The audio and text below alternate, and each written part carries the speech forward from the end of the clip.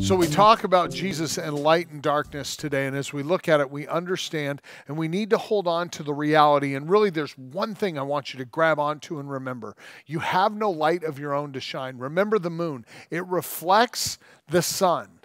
It has no light of its own, but if you went out a couple weeks ago when it was like a full moon out there and it was a clear sky and it was so cold and it shined over the snow and even the snow was reflecting the light coming off the moon, that's a double reflection, right? This beautiful reflected light, but the moon has no light of its own. And the same goes for us as Christians. You don't have to have a false light, a fluorescent spirituality that does no good. You can live in the light of God and you can reflect His light, or you can be a bad imitation of it on your own.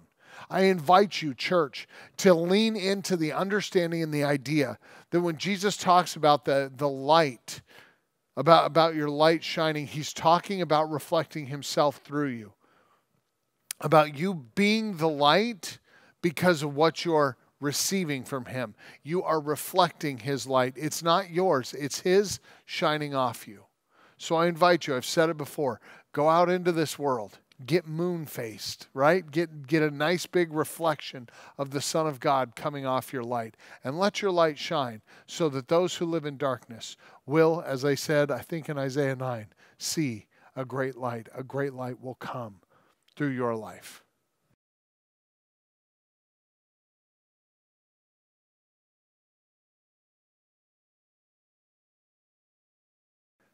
What up, Foundry kids? Um, real quick question for you before we go into our kids' questions. When you were, well, you are little, um, but as you sing, you know the song "This Little Light of Mine," I'm gonna let it shine. You know that one. Um, when you have to uh, do the light, the, you know how it's like hide it under a bushel. No, I have been judged by people I love dearly. I don't want to say their names, Josh, Bella, and Ethan, but um, and Erica, don't you? yeah, Erica, because they believe that when I did this the light of mine, I'm gonna let shine and the hide it under a bushel. No. They were like, your thumb's not your light. It's always your pointer finger is the light, right? So I, I need some help from you. Let me know which one is it. Is it thumb or is it pointer that's your light in the song? And parents, you sang it too. Help me out. Defend me a little. I, I'm alone in this one because my thumb was always my light and I didn't hide it under a bushel. I let it shine. All right, kids, here's your first question Have you ever had to walk somewhere in the dark where you couldn't see?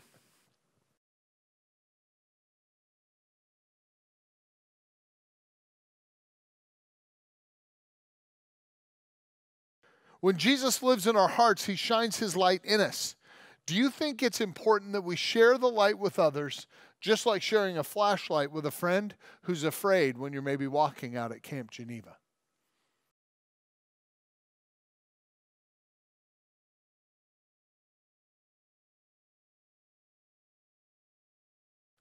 Light doesn't just show us the way, it also exposes or lights up what's been hidden in the dark.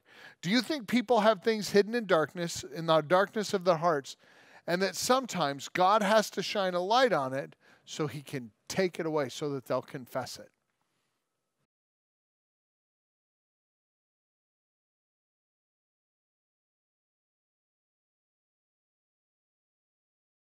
I hope you guys have a great time at groups um, and whatever you got next, have a great time. And don't forget, let your little light shine. It's a thumb, not a pointer, right? Yes, it is. All right. Have a great day, kids.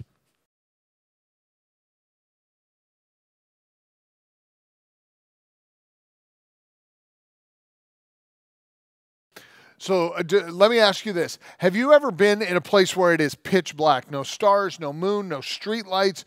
What is the darkest, the physical darkest place you've ever been? Not spiritually or emotionally, but the darkest physical environment you've ever been in?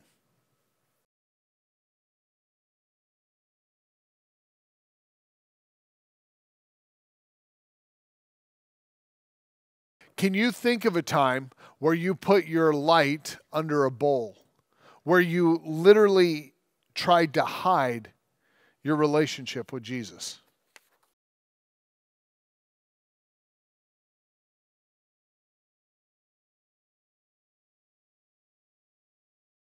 What things contribute to healthy eyes in regards to what is said in verse 34?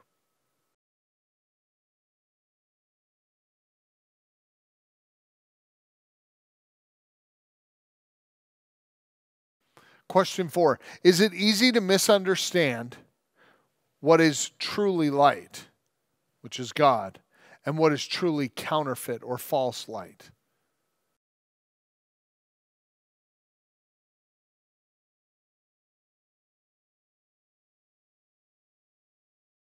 Have you ever experienced the jar or the shock of something in your heart coming under being exposed by the light of God and it's just jarring and shocking to find out what was there? Have you ever experienced that?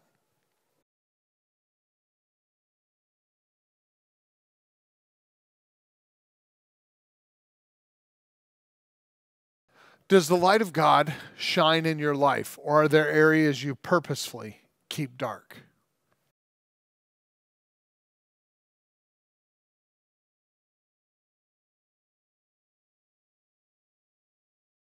Flame to the night. Something there and something white. It is a big screen that's black and white. Check out our brand new screen. It will help you see a better view of me. Okay, ready? So here's our question for the week that you had sent in. Uh, it was a statement, then a question. I tried to find a list, a list of our elders on the website. Who are our elders? It's a good question. Um, so here's the reality we are a church that we are currently in the RCA. We have a different governing structure only because we are non-official we are not officially organized in the RCA. We have an oversight team that functions as our governing board of elders and deacons. So we do have a church board. There are people from outside the church who are on the board from the classis and um, from a different church, and then some members from within this church who are elders and um, governing board, and they operate in that office. Uh, but we also have some uh, some different understandings of how we. Um, well, there's a traditional idea of the duties of elders and and they're different than what we do on our oversight. It has been a different process, and we as a church are governed by our board of uh, by our oversight board, and we also have empowered some other people who are our sacramental elders, and we'll have somebody talk about that. But before we do, I would like you to know that there are um, there is a church board, and uh, I could I could go through and list them off right now if I think about it. It's me. There is.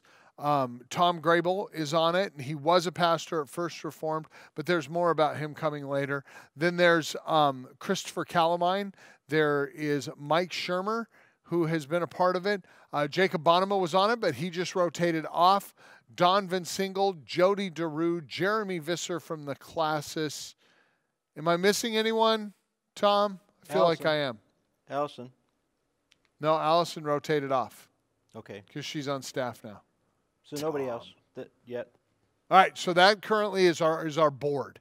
And uh, if you have any questions about that, let me know. We're excited to um, introduce them in this way. If you want to know more about them, know who they are, have a conversation, you may uh, gladly reach out to us, info at foundrychurch.net, and we will get you in contact with them, and you could uh, you can have your questions answered by the board and yeah, engage with them. I think you can.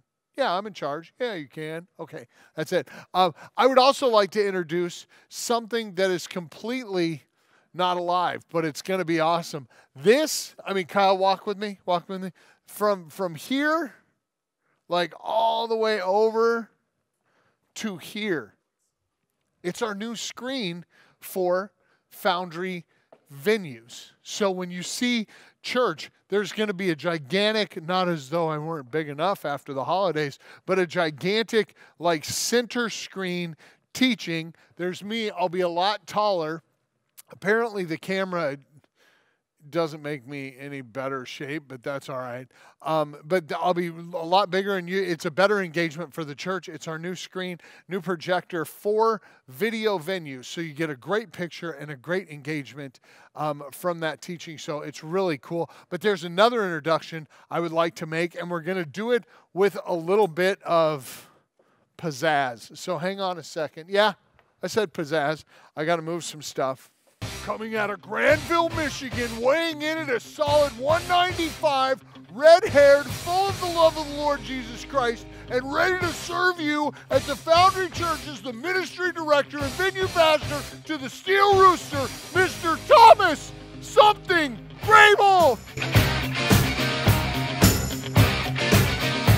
All right. Apparently, I wasn't supposed to run off the stage clapping, but I got caught in the moment. That was that was rad. I love that. That was a good introduction. I are you 195? Um, yes, probably, roughly, maybe less. Maybe Oh, more. maybe less? I don't know, somewhere Oh. around there. Really? I'm so fat. Oh my gosh, I'm It's so much more than 195. All right. That was a good introduction though. I was that might have been the best intro ever. Did you feel like ready to fight?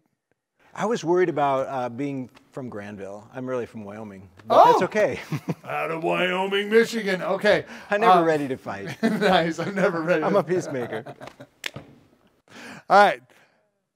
I would like to welcome Tom, the Peacemaker Grable, to uh, introduce himself, let you know a little bit about who he is, his family, his ministry background, his role here, and then he's actually going to share with you how we um, engage with what we call sacramental elders. So, Tom, it's been a pleasure. We've been friends for a long time, and I'm so glad we're doing ministry together. Uh, check it out. Listen to Tom. He's going to tell you about a bunch of stuff. Are you ready? I'm ready. Sweet. Uh, yes, I will forgive him for calling me 195 pounds, but we'll get to that later. I am Tom Grable, and I have been in Zeeland for 31 years, been in ministry for that entire time. I'm married to Michelle, and together we have three children. They are all grown out of the house at different levels of education, and I'm excited to be here at Foundry Church. My role title is Ministries Director. My top three areas are focused on pastoral care, um, discipleship, and ministry alignment along the different venues that are starting up. I myself have taken on a role with the Steel Rooster venue. I'm developing that from the ground up, and we're going to be launching on the 10th of March. I want to say a little bit about sacramental elders and what their role is. The sacraments, we have two of them. There's communion and baptism, and the role of the elder is to oversee both of those sacraments, make sure they're done decently and in good order, and to also serve as uh, help in those to pass out the elements, to administer the baptism and provide the um, environment for it, watch over, make sure that uh, it is all handled in good order. And so we, we take those sacraments seriously and we look for elders who also will take those seriously and um, make sure that the full benefit and meaning is accomplished through those. A little bit about our sacramental elders here at Foundry Church. One quick question Do you have the eye of the tiger? I have two eyes of the tiger, and um, they're working pretty good with the assistance of my glasses. Thank you. Have a great week. Thanks for being a part of groups, and remember, let His light shine through you.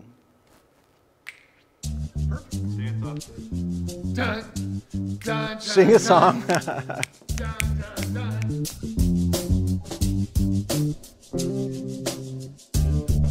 you.